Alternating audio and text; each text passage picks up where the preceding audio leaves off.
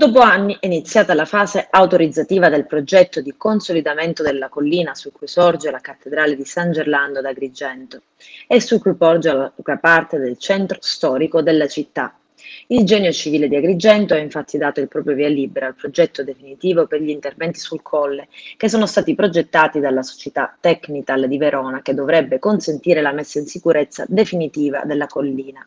ed il prossimo 23 luglio a Palermo è in programma una specifica conferenza di servizi durante la quale tutti i vari enti dovrebbero poter esprimere il parere in conclusione e dare il via agli interventi.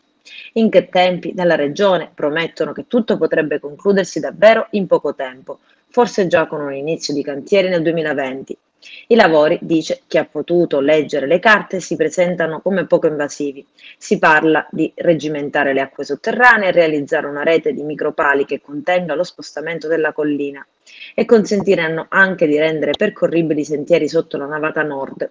Gli interventi saranno finanziati con i 25 milioni di euro messi oggi a disposizione della rimodulazione del patto per il Sud.